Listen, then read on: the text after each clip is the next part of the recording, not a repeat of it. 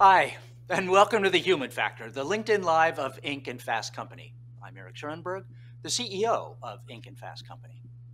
The Inc. 5000 recognizes the fastest growing private companies that my colleagues at Inc. are able to identify. So, Inc. 5000 founders are, by definition, some of the most successful entrepreneurs in America.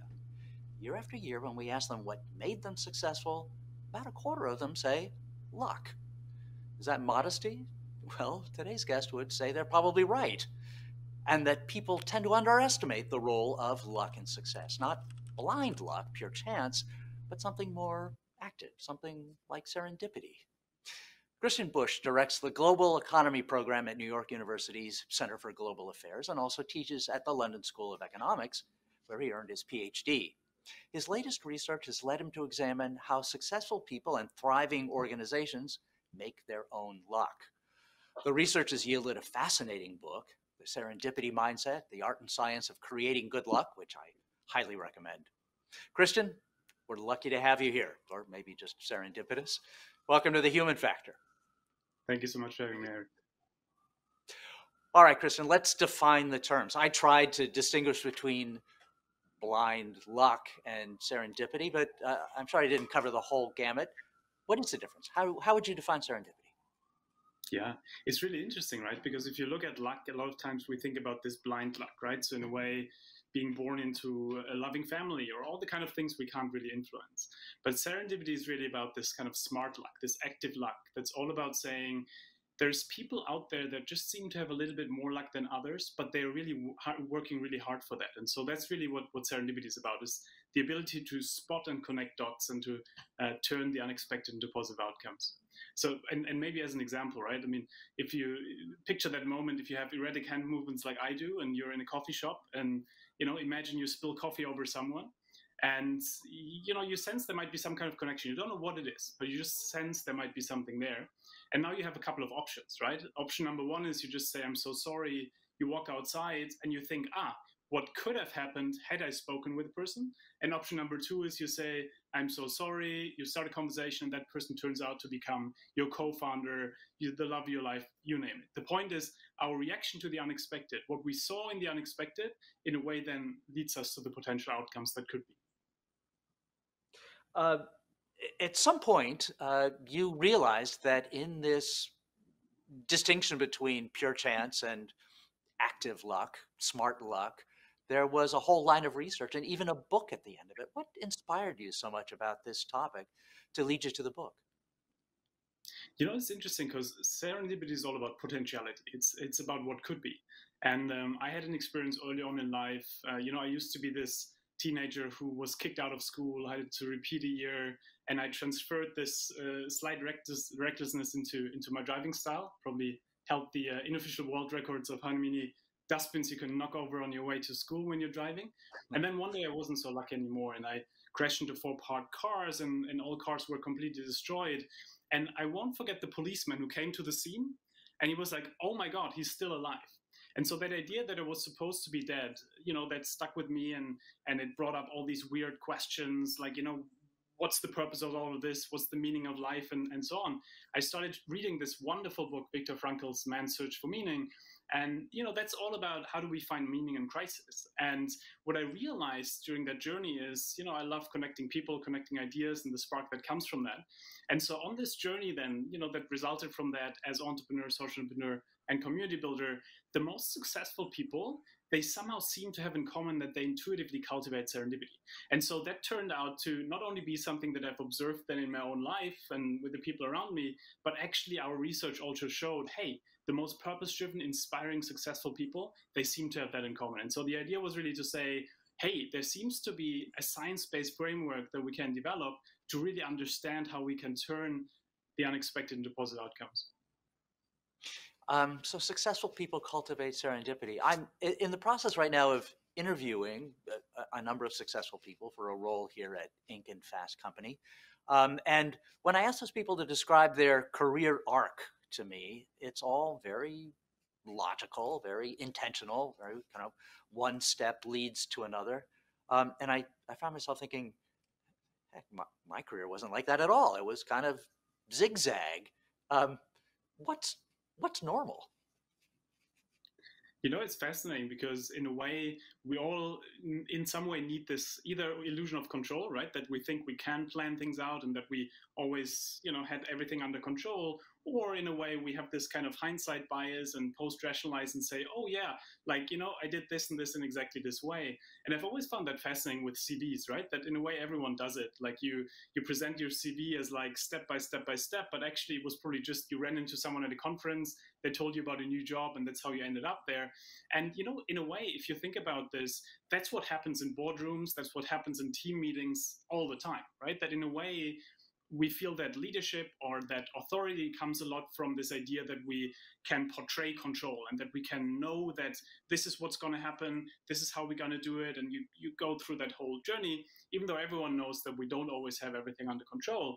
And one of the key things that comes out of our research um, we've done a lot of work especially with with ceos around the question of how do you run a company in a world that is changing so fast that you just can't plan your strategy for the next 20 years or five years or two years or even one year.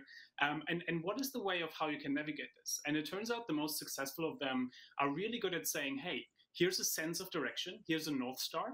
You know, if I'm MasterCard, I want to bring 500 million people into the financial system so that they get access to financial resources and, you know, want to sell a couple of cards along those way.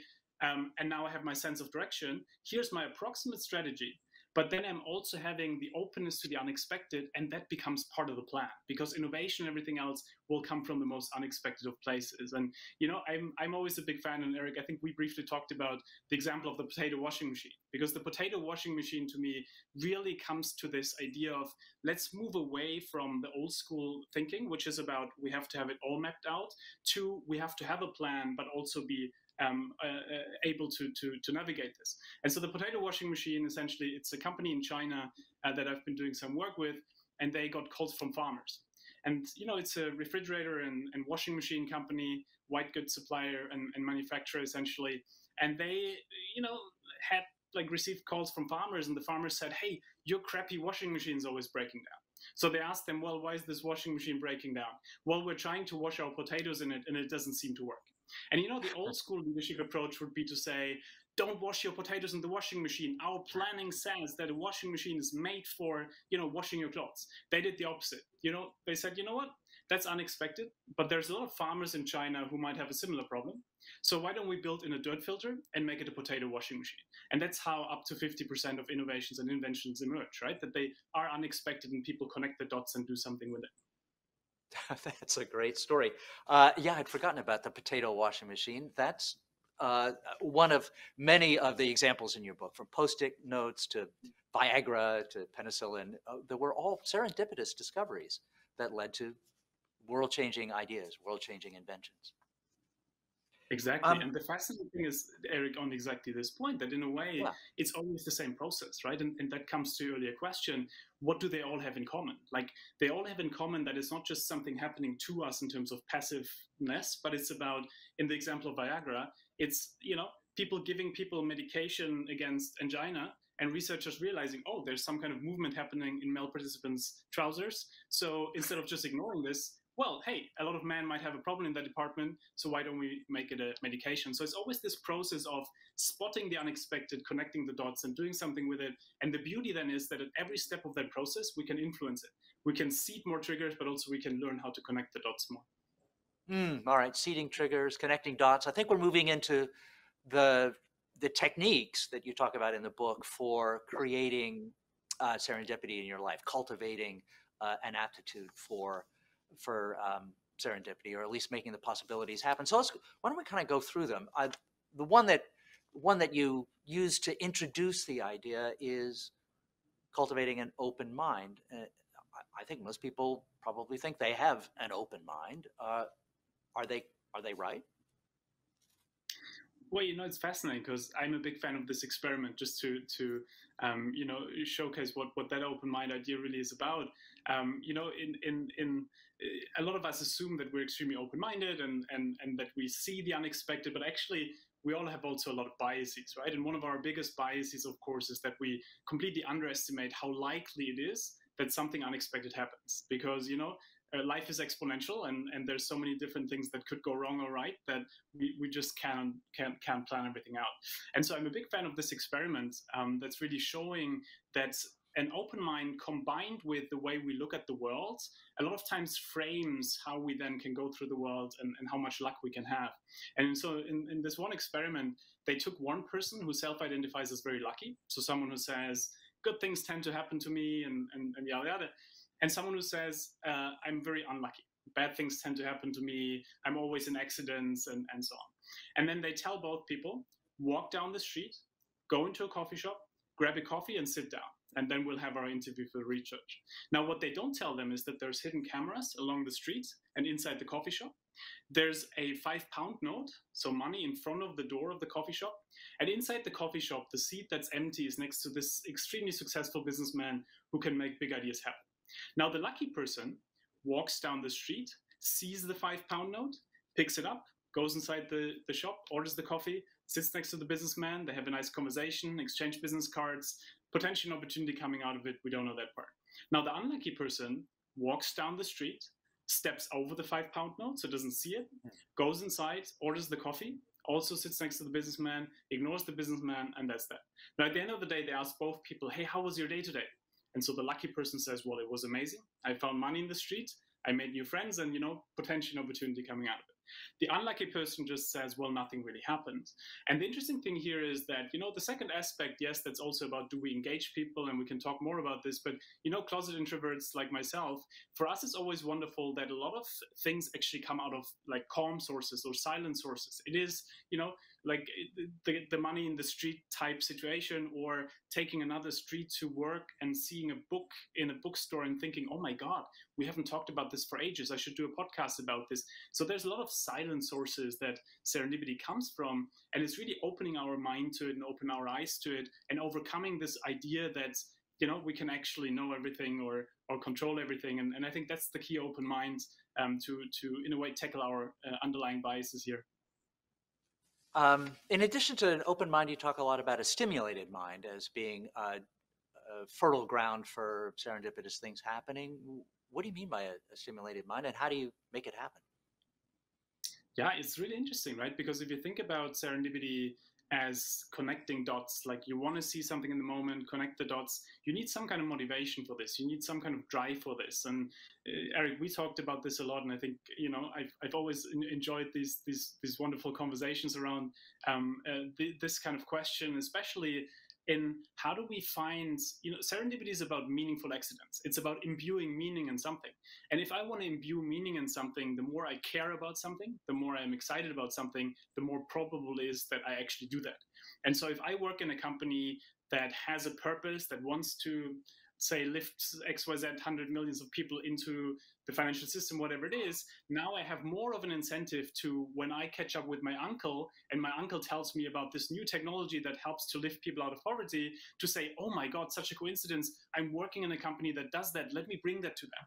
The point here is that the more we care about something, the more we feel that our individual purpose is aligned with an organization's purpose and so on, the more actually it is likely that serendipity happens because we actually have the motivation but more importantly also people around us have the motivation because a lot of times serendipity is teamwork right? Serendipity is maybe other people connecting the dots for us as well. And so um, the more we can provide this culture and this environment for um, motivation the more uh, serendipity tends to happen.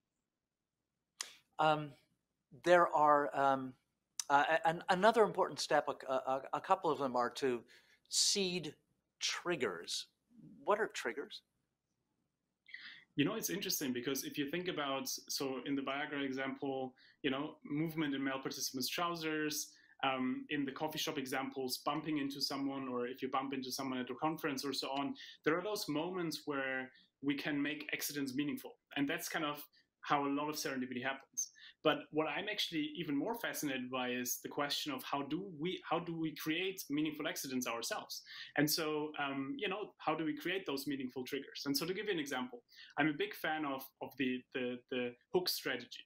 The hook strategy is uh, essentially saying, how can I put meaningful information out there that other people can pick up and then connect the dots with, being that content, being that in conversation or, or so on. To give an example, a very good friend of mine in London called Ollie Barrett, uh, he's a wonderful entrepreneur. And if you would ask him, Ollie, what do you do? So this dreaded question, you know, that they ask us at every conference or wherever we go, he would not only say, I'm, I'm a technology entrepreneur. He would say something like, I'm a technology entrepreneur, recently started researching the philosophy of science, but what I'm really excited about is playing the piano. So what he's doing here is he's giving you three potential hooks where you could be like, oh my God, such a coincidence. I recently started hosting piano matinees. You should stop by. Oh my god such a coincidence. My sister is teaching on the philosophy of science. You should give a guest lecture. Whatever it is we can we can seed that information so that other people can connect the dots uh, for us. And so i'm actually a big fan of uh, making a serendipity uh, journal where we write down what are the key themes at the moment that we're interested in so in my case, for example, you know, I want to take the serendipity mindset into universities, into communities, into companies. And so I try to sprinkle that into every conversation. And like if we write down this idea that, hey, here is the kind of touch points, the kind of potential hooks that we can build into conversation without forcing it, then we leave other people the option to say, oh my God, this is unexpectedly or expectedly relating to what I'm actually working on. And we can do the same with, with very different uh, ways of, you know, content being that blog posts or, or other ways. But essentially it's the idea of let's put something out there that could be a trigger point for other people to connect the dots. Um, it sounds like a, a lot of cultivating a, a, serendipity kind of aura around yourself is about drawing out other people or putting yourself out there too, um, so that there are the hooks for other people to connect the dots for you. Uh, one would conclude then that being an extrovert is kind of a, a very useful attribute for people who cultivate serendipity. Is that uh, the right conclusion? Can you be it's an introvert really, and, and mm-hmm. cultivate serendipity too? Yeah, well, it's really interesting because, in a way, a lot of times when you look at effective teams, for example, you might have the kind of more extrovert person who goes out there, who connects with people. And then a lot of times, the kind of more, you know, I mean, there are very reflective extroverts, but if I were to kind of try to um, put persona types out there.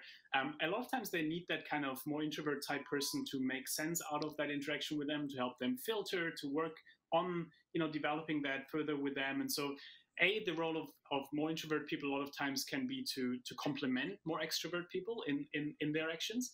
Uh, a second one also um, and you know i'm a closet introvert. I'm the kind of person no problem speaking in front of people and then after a speech i'm like okay and now let me hide in the bathroom. I like i, I need to first kind of refresh and then i can speak with everyone individually again. And and so for people like me i've always looked for other ways how we can leverage extroverts in some way right? So, for example, is there a way where we could, um, when we go to a party, first speak with the host about an idea, and then the host for us, like talking with other people about the idea, or you know, ways where we can, in a way, understand how extroverts can can do part of of the extroversion for us.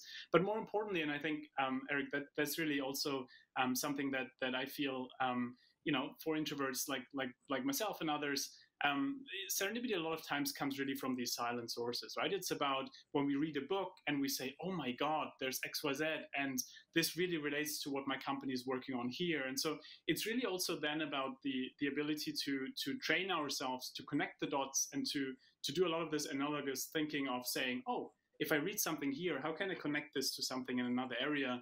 And then that's how a lot of serendipity emerges. So there's there's a lot of hope for introverts. Um, You've used the phrase connect the dots uh, a number of times in this conversation. Are some people uh, better at that than others? Uh, what makes you good at that? And if you're not good, how can you get better at it? Yeah, it's interesting. I mean, Lexi, my, my wonderful wife, who who who, you, who do you know, um, uh, who's a wonderful dot connector and a wonderful, you know, people like her do that intuitively, right? People like her she has a conversation with you, Eric, and she would say, "Oh my God, Eric, I should put you in touch with this person because coincidentally you've worked on the same thing." So, so, so to people like her, that comes very naturally. But what I found fascinating in this research is to say, okay, what can we learn from people like this in terms of what are the patterns behind this, and how can we train ourselves to do more of this? And then it's it's small behavioral shifts, right? So, for example, um, one thing that that I found very interesting is to say, okay. Um, every conversation, think of one or two dots that you could connect. So when you have a conversation with your uncle's sister and you really didn't, or or, or your your nephew or whoever, um, the person you really didn't want to like have that conversation now with, or the, the colleague you've talked about uh, things for for the twentieth time now, and you feel bored at some point. In those kind of conversation, can you in a way interact in that conversation that you think okay whatever we talk about now i want to make one introduction or i want to connect like one idea of what they tell me with something else? And once we kind of in a way get into that at the beginning it feels a bit artificial because you know it, it's weird to think about oh how can i provide value in in terms of like an introduction or something else? But once we start training ourselves to see something in every situation, we start doing that intuitively everywhere. And, and, and I think that's the fascination that this is not about saying we have to change everything, our whole mindset from one day to the other. This is about saying, how can we, by a small steps in a way, train ourselves to connect dots more, to see more in the moment, and then do something with that. And so there's a lot of practices around this that, that are effective, but I think the first one is really the easiest one I found is really to, in every inter- interaction, just say, okay, is there something here that I can somehow imbue meaning into? Hmm. Um, a lot of our conversation up to this point has been about personally um, becoming more open to serendipity. Can companies do this? Is this something that leaders are there things that leaders can do to have a culture that is open to serendipity? Absolutely, and I think that's where it gets really excited and uh, exciting. Where, in a way, as, as leaders, we can do a lot to develop an environment for serendipity to happen. And there, there's there's you know I think two major um, themes. One is really concrete practices, and the other one is working on the deeper kind of psychological underlying questions, and and that's really around questions such as psychological safety and how do we provide an environment that motivates people to actually connect the dots. Um, but in terms of the practices, there's two that you know just to to, to give you examples. Uh, one mm-hmm. is, is is around um, you know in, in, a lot of companies we have all these value statements, and um, some companies say. Uh, one of our values is to be curious or to be xyz but then in the day-to-day meeting you don't really see any of that like you don't see it implemented into the day-to-day practice and so one simple way to integrate that is to say in the weekly meeting one of the questions could be, What surprised you last week? Very simple question, but it essentially incentivizes people to look out for the unexpected. And if you're now the person who was called by the farmer and the farmer told me that they washed their potatoes in there, you might bring that up in the meeting and you might say, Hey, you know what? Now that you ask, I realized last week, yeah, these farmers, they were washing their potatoes. And you're like, oh my God, that might actually be something. So the point here is that we can use our day-to-day meetings and others to, to seed in those small questions around, you know, what mm. surprised you, what was unexpected, and, and really starting to question assumptions. And that's where a lot of the serendipity happens. But my favorite mm. uh, practice actually is the project funeral or the post-mortem. And so that is really based on this idea that in companies, a lot of times when something doesn't work, we try to hide it, right? We don't want to be the, the person, the loser who, who failed doing something. And so we, we try to hide that away. And the problem is we don't really learn from each other then, right? Because a lot of the real learning comes from things that don't work and and and and, and a lot of the trust and a lot of the the positive vulnerability, not the kind of oversharing, but the, the positive kind of connectedness with the other comes a lot from that idea of talking about things that don't necessarily work in a very productive way. And so the project funeral is all about saying, when something doesn't work out, the person who's responsible for it presents it in front of people from other divisions and talks about what they learned from why it didn't work. So it's not about celebrating failure, not at all. It's about celebrating the learning from what didn't work. And so in this one example uh, of a, a, wonderful company I've been I've been collaborating with, they have these um, window frames, and and so the idea was uh, you know, it's a it's a wonderful uh, window frame and glass where the light doesn't properly reflect, and so it's it's a wonderful technology.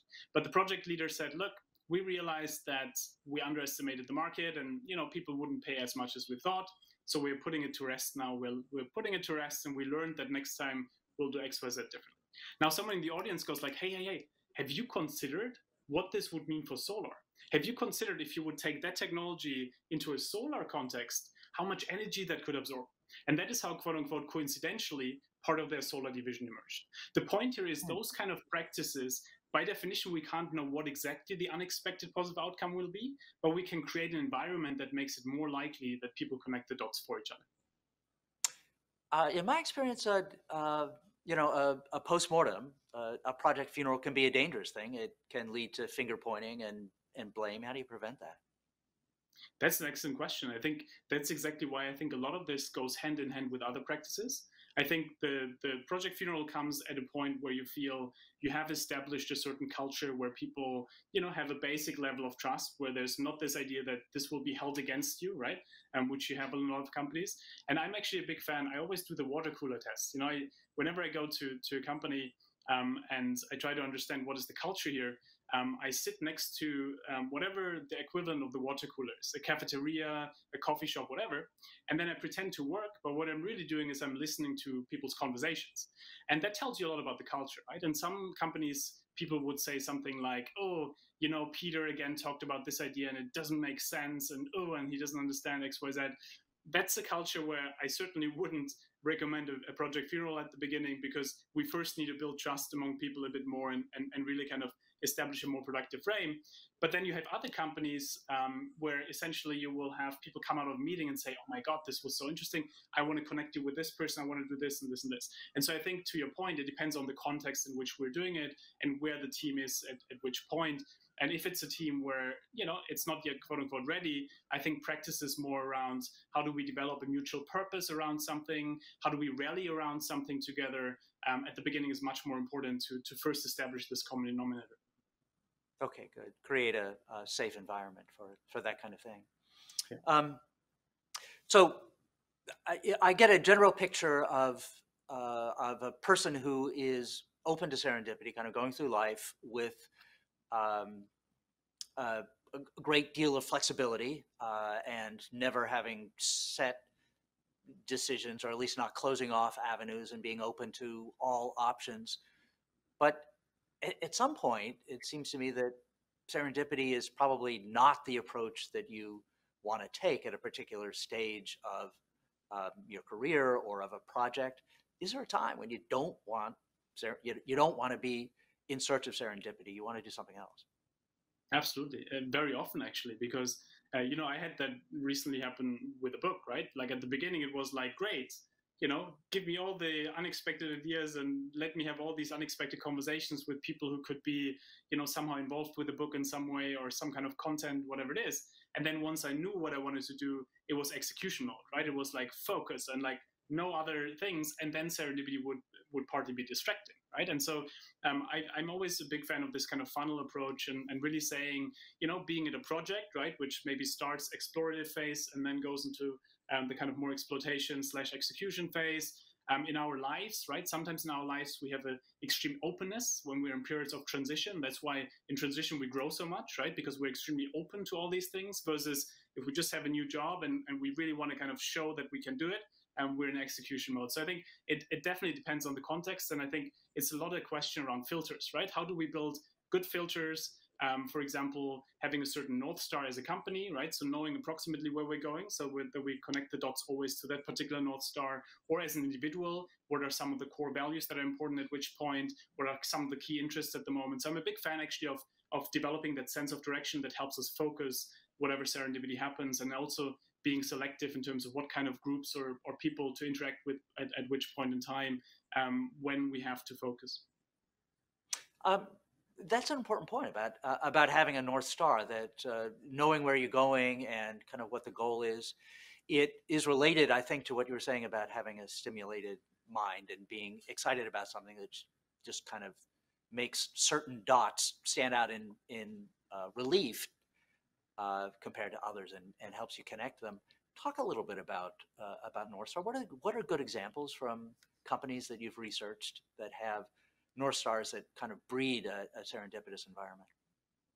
Yeah, well, it's interesting because one of the, the companies I've been doing a lot of work with is is Mastercard, and I think they've been very interesting because they, in a way, have you know they used to be essentially a credit card company, right, or like financial transaction company, and they developed an amazing core capacity there but you know if you're an employee now if you're someone who, who wants to get excited about these kind of things it's like yeah okay it's fine it's okay but but you know it, it might not necessarily be the kind of bigger purpose you're, you're looking for in a company versus now you know at some point the, the the then ceo said hey look like there's a couple of really big problems here in the world and those problems might be defined by the un sustainable development goals or in other ways but the point is if I see that there's a big societal question and a big societal issue here, so in this case, societal exclusion of you know hundreds of millions of people who didn't have access to the financial system, if I now can say as a CEO, okay, I have my core capabilities here, which is financial transactions and so on. I know that hundreds of millions of people don't have access to a financial system. Can I can I be the bridge here? And can I help our focus go into a direction that combines our you know core competencies, the way we make money, everything else, with the idea of we have actually something we can work towards and rally people around. And I found that fascinating because in a lot of the companies I've been working with, it's really a lot of times saying, where are we at the moment? and how do we either modernize our legacy? So look back and say why are we here in the first place? What is why why does it matter that we're here? Did we lose like our soul? Did we get so focused on like just making money? So either kind of modernizing that legacy or um, more importantly looking at the sdgs or other ways and then really um, making that bridge to it and i think though eric being honest the biggest challenge i've seen um, working with companies is that they a lot of times do that first step, right? Where then the CEO is on board, maybe the board is on board, but then it doesn't really trickle down. Like if I'm the employee mm. and I come into the office on Monday morning, it doesn't feel that I'm really working towards this in everything I do. And so I think it's extremely important to develop, uh, you know, and integrate that into every practice. Performance reviews, um, promotion processes, hiring processes, to really make sure that everything we're doing the related values and the related purpose is integrated across the organization. Otherwise, it's just lip service and nobody believes it. And then I think that's when trust gets lost. Mm, that is uh, that's an important point. Um, there's a there's a quote in the book from the Guardian columnist and social psychologist Oliver Burkeman, which I thought was an interesting framing of the question of serendipity. He said, um, uh, or he said, uh, as, as, you quoted him, uh, something like eh, the most important thing in life is to recognize that everybody is winging it all the time. Why did that resonate with you? You know, it resonates so deeply, both you know, in my personal life, but also in a lot of the research. And and you know, I'm sure Eric. I mean, every high-powered person I meet after the third glass of red wine will say, "Oh my God, you know." You know, I had to show that I have everything under control, but actually, I don't always have everything under control. And that's fine, right? That's fine. Like every doctor, like even in those positions and those roles where we think, oh, they will always have everything under control, right? The doctor, the pilot, like we want them to always have everything under control, but sometimes they have to wing it. And in those moments, actually, that's where the real difference happens, right? That's where, in like the case of a of a, of a pilot, it's, it's it's life or death. But in our day to day life, it's just like, okay, we just need to navigate this. I'm a new parent soon, you know. Uh, parenting, I guess, is is all about, right? Like trying to figure out like how do you approximately raise a wonderful child, but then also get ready for the unexpected. And so I think, uh, Eric, to, to this point, it's really this this idea and I, I, I, try to communicate that a lot especially to my students because i think they go out there and they feel so much pressure because they think oh i have to i know have to know this and this and this and then we have that conversation say hey look you do your best to get as much knowledge in this and this as you can but more importantly start asking the right questions and and start going out there with an open mind. And usually then life will work out in some way and most people are, are winging it at some point and that's fine. And if you're winging it at some point it's more important for you to build a muscle for this than to just always feel you know oh my plan is, isn't working out. And i think that's the bigger psychological idea really behind the serendipity mindset to say you know what we try to plan as much as we can. Me as a German, I love planning, right? But then also we're building in this idea the unexpected can become an ally and it's part of the plan. And then it gives us less anxiety. Are you a lucky guy? I consider myself to be very lucky, both blind luck and and a little bit of the kind of serendipitous luck uh, coming together. Probably, yeah. Well, um, you certainly sound like it, and um, um, this has been fascinating, Christian, and uh, the research is amazing and so practical and so applicable to uh, ordinary life as well as business settings. And just one more question is: um, We've been talking now for half an hour. Have you been winging it? I mean, constantly, I guess, in terms of. But you know, Eric, it's so fascinating. I had that conversation a few days ago with a with a good friend of mine about how, in a way, how do we do we really always practice what we preach? And I realized I'm not always practicing what I preach. I mean, I had COVID last year, and you know uh, it was a really bad period and for the first weeks it was such an emotional feeling right that i really had to remind myself okay christian it's about perspective taking now it's about taking yourself out of this moment it's about trying to see is there still some kind of meaning in there i reread viktor frankl's search for meaning right because it really kind of reminds you of how to still find meaning in that situation but so to your point i'm certainly uh, winging it quite often and and, and certainly um, i have more questions than answers in, in most areas of life well, that's a great way to go through life and certainly means that you're open to those serendipitous opportunities when they arise. Christian, thank you for being on the show. Uh, this has really been interesting. Um, and thanks to uh, to uh, Scott Mebus behind the camera, to Kathleen Mainello, Emma Gordon, and Rose Levy, the producers of The Human Factor. And thanks for watching. This has been The Human Factor, and I'm Eric Schurenberg.